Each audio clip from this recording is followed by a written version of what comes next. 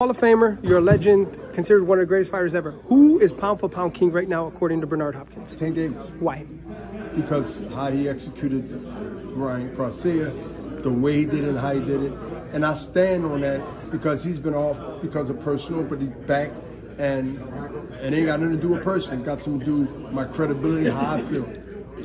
He's not over here; he's over there, and to me, until otherwise, in 2024 something which most likely will, good or bad, changes amongst who fight who, with the, the outcome of that might change it. But for right now, I got I got just because it was a little delay, I'm I'm still rocking with the Tank Davis, but Crawford with the Nally with, with the with, with the, the, the performance that he put down you can't underestimate that. He's right on the hills of Tank Davis. And you don't have Canelo right up the there? Well, Canelo. Canelo is he in the top three, but I don't look at Canelo as being on the top. You have Tank, Crawford, Canelo. Yes. Okay. Now, Showtime. They gotta knock it. They gotta do. They gotta do some great stuff in 2024 to take that one position. But right now, who holds it? is Tank. You see something in him like that he Tank. Yeah. Two undefeated fighters. He went in there and did what he's supposed to do and did it. I even forget that, even though he haven't boxed since then. But I still got that memory and I still stand on that.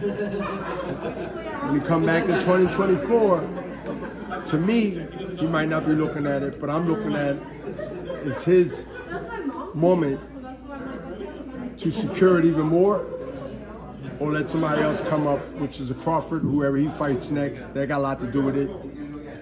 Or Canelo, which has a lot to do with who he fights. And gotta win. So to me, oh. I give Tank Davis number one, number two Crawford. You've been around boxing. You've been around boxing many, many years. What what went through your mind when you heard that it was official and Showtime are no longer in the boxing business? What went, what went through my mind when I found out that Showtime was out of boxing? Rest in peace, Showtime Boxing. It's a new world order. It's a new world order. Curtis Mayfield. For the youngies that don't know who Curtis Mayfield is, look up New World Order. Listen, change is not always a bad thing. Change can be intimidated.